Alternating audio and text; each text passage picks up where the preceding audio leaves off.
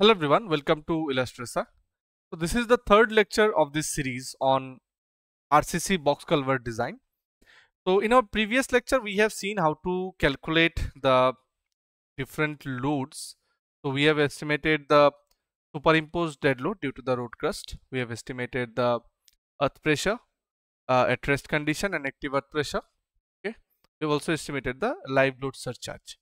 So now in this lecture I'm going to show you how you can assign these loads in our uh, analysis model that we have created in our first lecture. So if you remember this is our analysis model we have done the center line modeling. So now we'll be first defining the load cases one by one. For that I'll go to load here and I'll go to static load cases. I'll name the first load case suppose DL for the dead load and remember this dead load case will be I'll be using only for the self weight of the structure. So type will be dead load and I'll click on add. Now I will change I will make another load case SIDL superimposed dead load for all the superimposed dead loads like road crust and any other load if it is there then it will be applying under this particular load case. The type will be dead I'll click on add. Then I'll apply the earth pressure loads so earth pressure at rest condition. Okay I'll change the load type to earth pressure. I'll click on add. Then we have earth pressure in active condition active earth pressure. So active add. Then we have the live load surcharge so LLS and I'll make it for at rest condition. And uh, let me ch change the type to user defined type I'll modify this okay?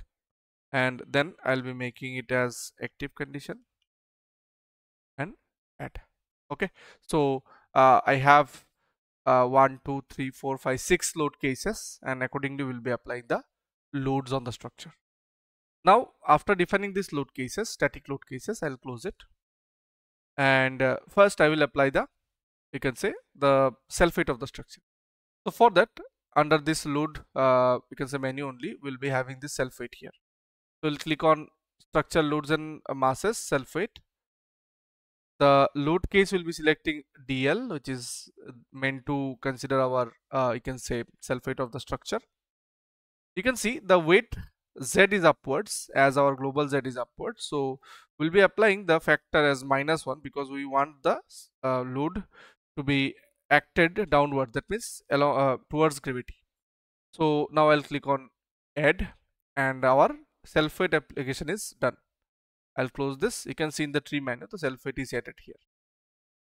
Now i'll be applying the superimposed dead load. So the superimposed dead load due to the road crust that we have calculated which includes the wearing coat load and the load due to the fill it is around 13.1 kilonewton per meter correct? So in that case I'll be applying this. So what I will do I'll take the select window uh, select tool select single tool. I'll select this uh, you can say line. You can use both element and line option. For for this particular purpose let us say we'll consider this element load. I'll change the load case type to SIDL okay?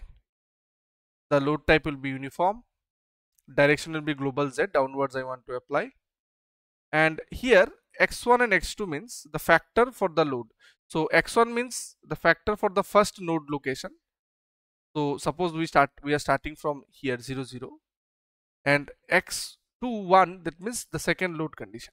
Now in case of the element load which point is the starting point? Which one is the uh, ending point? To understand that we need to see the direction of the element. So for that I'll go to display and I'll click on element and here you will find this option local direction. Check this and apply.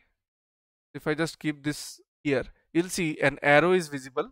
So that means it is showing the element is starting from this end and ending here. So that means the value uh, the x1 corresponds to this point and the x2 corresponds to this point. Okay? Now I'll turn off this. Okay? And I will give an as it is a uniform load then it's fine. But if it is a, a varying load so in that case these two nodes which one is starting and which one is ending it's very important. You will see in the next lecture i mean in the next uh, load case that will be applying. So it will be minus 13.1 13.1 okay? And I'll click on apply. You can see a uniform dead load of uniform superimposed dead load of 13.1 is applied on the top slab okay so this is the element load type. Now for the walls let us see. I will be using this line beam load so I'll just close this. I'll go to line beam loads. Now these walls will be subjected to the earth pressure and the surcharge. So if you see the earth pressure at rest condition okay uh, we have at the location the starting location the load is 8.5 you have seen why it is 8.5 why not 0 because we are considering 0 at the top of road crust right? So here at the center where we started modeling it is 8.5 kilometer per meter. Here it is written kilometer meter square okay? When we'll be multiplying 1 meter width then it will be kilometer per meter correct? So and the bottom it will be 32.5 so it is for at rest condition. Now we have modeled this structure along global z. So i'll change it to global sorry global x so it will be global x. And from left to right it is positive. Right to left it is negative. Okay.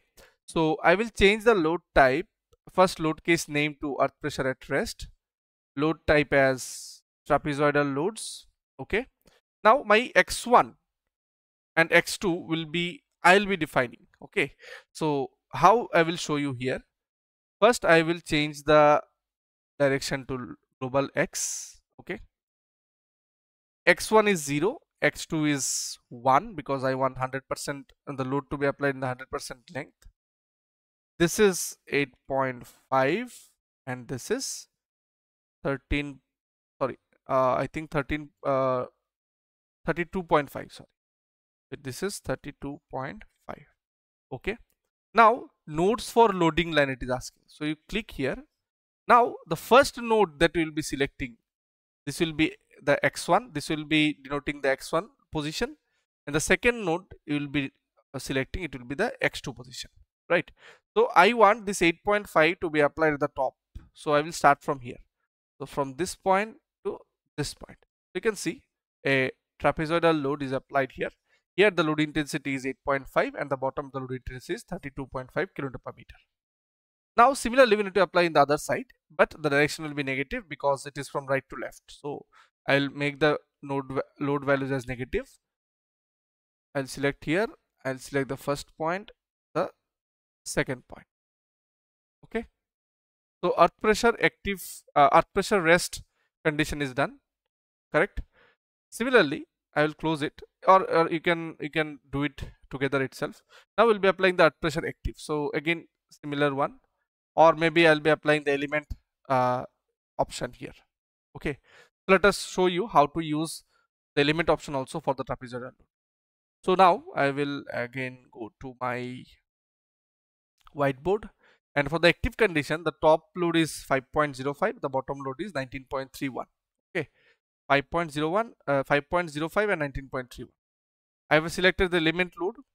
Now for this I need to know the direction of the element. So direction of the local uh, axis. So I'll click on local direction apply you can see here it is going from bottom to top so that means my starting point is this one ending point is this one as per the element direction so accordingly I need to apply the uh, load so now I will change this to earth pressure active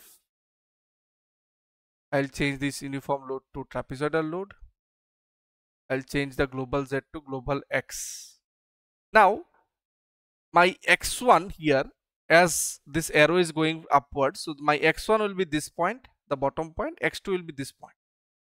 But I want the lower, smaller load to be applied at the top, higher load to be applied at the bottom. So we need to do it accordingly. So what I will do, X2, I will keep it as 1 Okay. and here the value the zero value uh, that means this position I'll keep the maximum one which is uh, 19.31 so at the zero it is 19.31 at the one that means the 100% of the length that means at the top in this case as the arrow is going up it is 5.05 correct? Okay. What I will do I will select this. I'll click on apply. So this load is applied similarly I'll apply here. We just have to negative I mean give negative sign to this and apply. Okay? I will show you this this intensities are not not visible here. I will show you the, whether it is uh, applied correctly or not later right? So we have applied the active earth pressure uh, load right? Similarly we can apply the uh, you can say the surcharge loads for active and rest.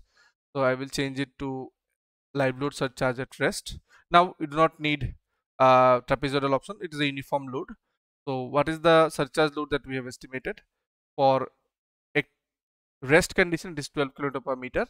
And for active uh, condition it is 7.13 so 12 and 7.13 so I will LLS rest uniform load global X okay. This value will be 12 okay at rest condition I'll select this.